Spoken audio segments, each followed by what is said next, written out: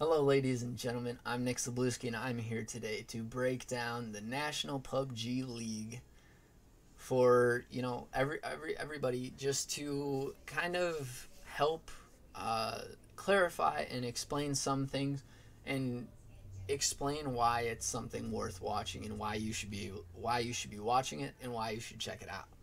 So to start off, we're going to go through the intro, uh, the in-game and round phases. So there's schedule in or schedule phases, which are the weekly tournaments, and then there's the matches inside those phases, which are singular rounds.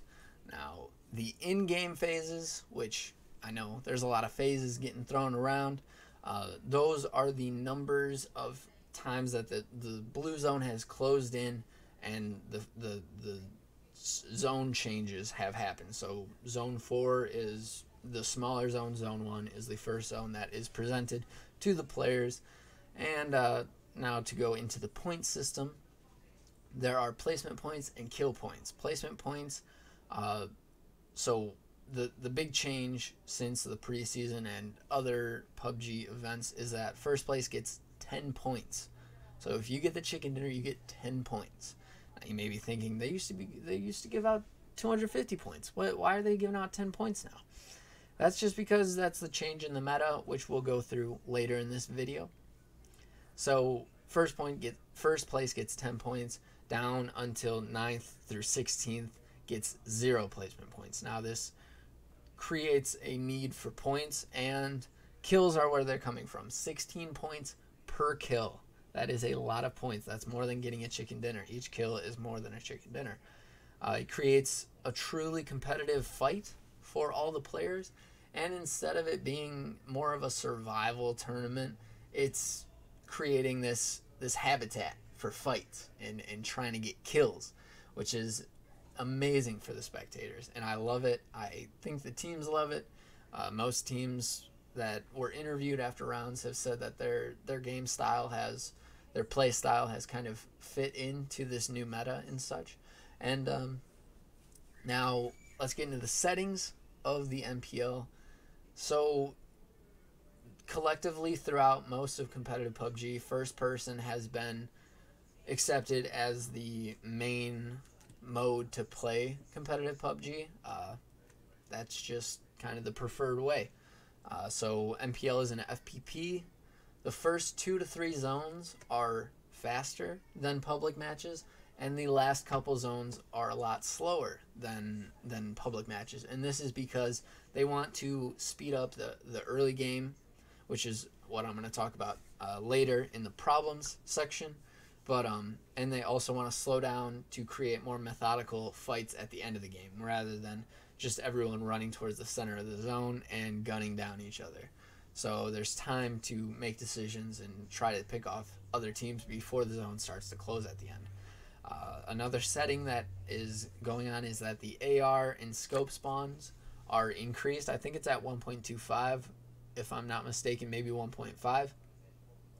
And uh, this creates uh, assurance that each player will get whatever weapon that they need for early game, mid game, and end game situations, uh, along with the scopes to take those long range shots and uh, long range shots in the mid game, and you know make sure that there's enough ammunition also, which is another factor that hasn't been talked about as much. Um, now to go along with the settings changes, uh, there's an evolution of the meta that goes along with the settings changes. And when I say meta, it's kind of like the preferred way of playing, the most common settings, and, and so on. Um, but even just since preseason, the NPL has changed so much in the settings uh, with the point system, mainly the point system. And uh, I feel like that's just going to be a continuing thing that they kind of change it up every once in a while. PUBG is still a new esport, and uh, you never know what is the perfect settings, and they're going to keep tweaking it until hopefully they find the perfect settings, which I'm not sure if that's a real thing because everyone likes something different. But it's uh, there's definitely evolution of the meta.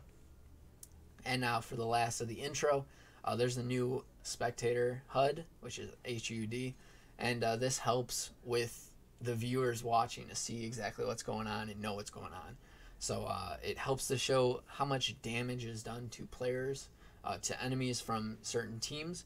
Uh, and this is done by showing a number on a hit that a player hits. So if you get hit in the arm, it's like a 12. If you get hit in the chest with a certain kind of vest on, it's 25, something like that. You can see that. So you know exactly how much damage is going through. It's almost like Fortnite. I hate to say it, but it's practically like Fortnite.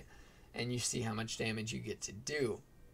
And there's also a uh, kind of hit mark uh, where you're getting shot from uh, for the players because it is a first person com- uh, competition but the spectating is in third person. So it's hard to get into the mind of one player when you need to look over the whole team and see where the whole team is.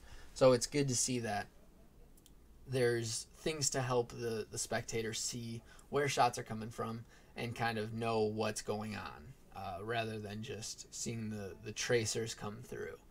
Um, now, the, the second part of this video, I'm going to break through the teams because without the teams, there will be no competition. Now, very simple. Uh, again, these are the layman's terms for the whole NPL. I'm not saying that I know the deep, in depth stuff or anything like that, but this is my take to help everyone uh, make the viewability of the NPL a little bit easier. Now, there's roles in each teams. There's an in-game leader usually. There's a leader. There's a there's pushers and fraggers, which are the main like you know they can really take fights they can really hit shots. And then there's snipers in range. There's a couple other roles that some teams have but for the most part these are the most common roles. Now for one example for e united their strats are based on uh, er, the strat to take a building for them is based on Geist, which is one of their players, hitting a sniper shot to knock one of the players and then the rest of the team pushes to take advantage of that 3v4 situation or a 4v4 where the team in the compound has very little health after he got picked up in the time that they pushed. Uh, definitely puts an upset into the situation, and it may even get them uh, wins into buildings, and buildings are pretty important in this game, as you can see. Uh, even when you're playing. You know that if you're in a building, you're you're pretty much safe. If you're playing out of a building, you may not yield as much kills, but you will yield a higher placement score, which I guess in this meta, it's not as important because kills are high or, or so high in points, but um, it's securing your port, securing your place in the end game to rack up as many kills once you're in those smaller circles. So um, those those are the roles. Now, some teams. This is another point. Some teams do better on Miramar, and some teams do better on Erangel. I know that Shoot to Kill STK yields higher placements on Miramar just because they're all about taking shots and there's less buildings on Miramar to to do that. It's more about you know really getting down and dirty with your shots. And uh, in comparison, C9 is always doing great on Erangel. I know C9 usually does pretty good on any map, but um, you know they're they're always you know top five, top ten in in those situations on Erangel. And uh, this changes. You know, some teams can have really great days on Miramar and then not do so good the next day, but for the most part, some teams are better on certain maps. Now, with the teams comes designated drops uh, C9 always drops on Pochinki and Picado. There's teams that they know exactly where they're going to drop, and usually there's no contestation for that. I know C9 always gets Pochinki and Picado. There's no one really there to try and fight them. Uh, and then people have their designated drops that they like to go for early game to loot up and have enough buildings to really prepare themselves for the rest of the game. And this goes in with the meta. NV used to be a team that always dropped at the military base. That was always their drop. They'd fly out, they'd find a vehicle, and they'd drive to the military base. But there's been a change in their in their strategies that they don't go to military base anymore unless like there's a plane right on it and they expect a zone to be on it. um, which you know with the zones mainly coming onto the mainland, uh, those bridges are scary for them, and they've lost a lot of good games just from trying to get across those bridges. And uh, you know the last part for teams is that each of these teams are incredibly skilled. They can kill, they can get the wins.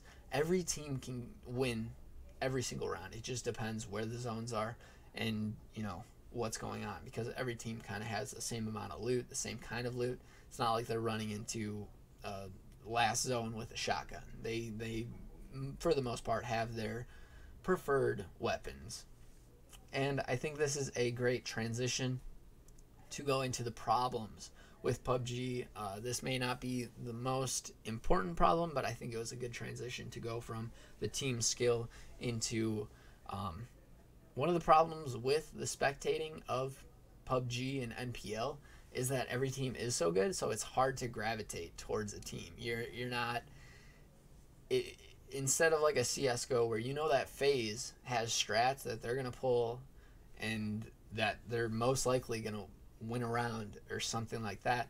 Um, you know, every team is really good, so it's hard to pick that team and, and stick with them. So I think that's a problem that will be overcome throughout the NPL season, just from people finding a team that they really like and that have been doing really good or putting up a lot of kills and sticking with that team. Um, so we'll see how that goes.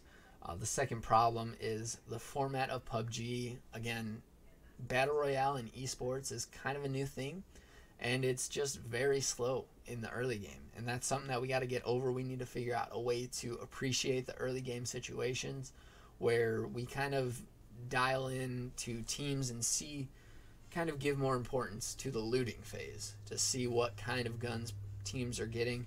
I think that was a missed part of the uh, phase one that I was watching this weekend. Um, it kind of just came out dry, and I think that's a, a good way to overcome that is try to build narratives around certain players with certain weapons. Like Kaymind with his M4, he can tear up a whole team with that. Geist with a Kar 98, something like that, um, to kind of build narrative and to keep viewers interested in um, in the game. Uh, now, another part of the format is that there's not a lot of huge plays where the players stand up at their desk after a round um, because they hit an insane headshot to clutch the round, anything like that. It's more drawn out and, you know, whereas in CSGO, you win around, you're out of your desk running around. You can do that because you have the ability to. Whereas in this situation, in PUBG, if you get a kill on a team, you can't really celebrate all that much. You got to be ready for the next team that's third partying you to come take advantage and, and try to defend off of that because that's kind of one of the metas that we, we say that happens in PUBG is that third partying because you're giving off so much noise and information from taking fights that people are going to come over and check. And they're going to see if you're hurt and if you're hurt they're going to take advantage of that. So there's not enough time to kind of celebrate. Uh, not to say that there are times to celebrate. Uh, phase one this weekend with day two, match four. Uh, the Kaymind clutch on a Erangel coming out of that hut or uh, out of that trough, getting blue uh, blue zone damage almost down to half health with no cover, and the other team had the hay bale.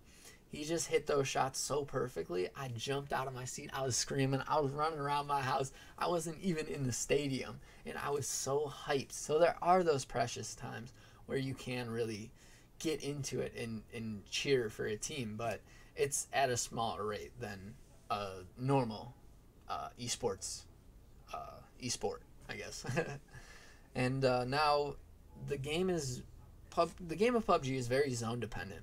Uh, where you know if you're not getting zones, whereas in comparison to a team getting zones every round, uh, like in the preseason, uh, day one, I think it was Group A versus D. Smoke and Aces had that compound north of Georgopol, and they got the zone every single round, and they won the round as a result of that, they didn't get many kills, so they didn't get first for the first round. But, you know, they got the chicken dinner. They they established themselves as winners in the first game, and that definitely helped them throughout the rest of the tournament. And uh, you know, I think this this zone dependency is a, a spawn of impeccable strategy, knowing that some teams may have to take their vehicles outside into the blue to cross a different bridge so they don't get caught in a choke point. It's it's you know that in-game leader usually gets a, a huge role for that and uh, that's that's their job to make those decisions to take a little bit extra health damage just to you know save themselves for later in the game.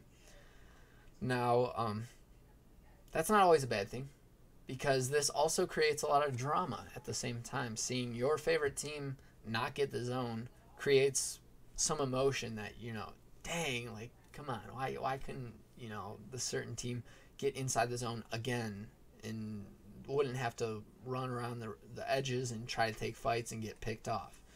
Um, it's just something that happens with PUBG, but I think that that drama is something that's that's good for the NPL. Um, and overall, they can over they can work through uh, the zone dependency of PUBG and make it more intriguing to the viewers and spectators of the NPL. Now, another problem is that there's a problem with the client side observation lag. Now, I had to really think about all the words to, to write this down and, and make sure that I, I kind of put a good name to it. But when you're watching and you see a vehicle rolling by, a team taking shots at it, those tracer uh, bullets, the tracers, aren't really showing up like they're hitting the vehicle. They look 10 feet away, and you're saying, oh, this guy sucks. Why, why is he missing those shots? Those are easy shots. But, you know, that's just the client side uh, lag between the client and the server. And uh, that's something that's that's on the PUBG side. That's not NPL. That's PUBG, and I think um, once PUBG gets that cleaned up, you know, it'll be a lot easier to watch. Um, now, the future map choices. Right now, it's Erangel and Miramar and some people don't like Miramar, and I see that being a problem for spectators to see the pros play on Miramar. They may not retain uh, as many viewers at that time to watch that map get played. Um, I think Sanhok may not ever get the potential to be on uh, NPL rotation for PUBG, but you know just because there's not enough buildings, big buildings, big compounds for teams to go to, um, it kind of it's it's a completely different game than public matches. So you know we'll work around that. I think Vikendi has a very good potential for that though, because that was the most well to me that was the most well thought out map of where buildings are, where cover is, how much cover there is. It just a beautiful map, and I, I hope to see Vikendi in the rotation soon enough. And uh, the last two things, uh, as I said before, there's just a problem with the early game and looting phases of uh, of designated drops in, in the early games of of NPL and PUBG. Uh, it really slows down those first two to three minutes uh, Whereas when you jump into a public game, you're gonna drop in Pochinki with with other people, with other teams, and uh, this kind of dries it out. It's it's there, there's not as much early war. It's more methodically think it thought thought about, and um, it kind of we need to find a way to appreciate the early game, as I said before. Um, I know that they have done the zone changes uh, to try and fix that and try to make it so that the early phases of the game kind of go a little bit faster. But uh, other than that, I don't see much of ways to get around the boring, boring early game. Uh, besides, you know, maybe putting that narrative to certain players with certain weapons that they that they're looting. Um, and now for the last part, uh, I just like to say phase one, week one, of the NPL only got like 22,000 live viewers per uh, per day, and it's it's sad to see such a small turnout for something that's so great and that they've put a lot of money into with OGN. uh, creating this and, and putting so much money into the stage, the playing, paying even for people, the, the players' hotels, the team's hotels. Um, there's so much into it that it's sad to see that there's not as much of a turnout through the viewers.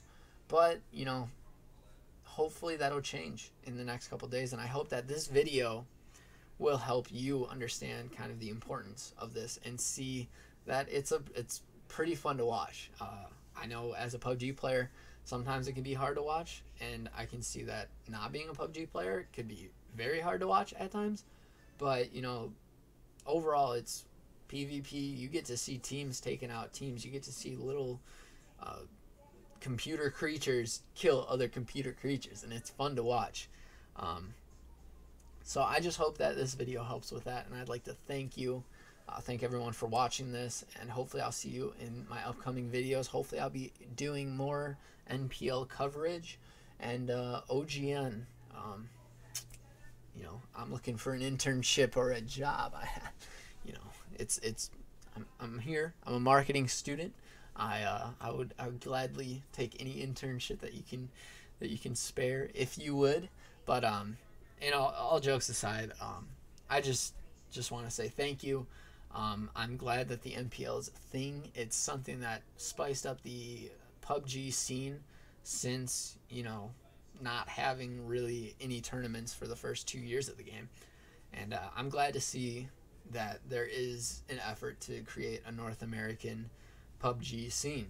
And uh, you know, I hope everyone enjoyed this video. I hope I see you guys very soon, and I will See you guys in the next one.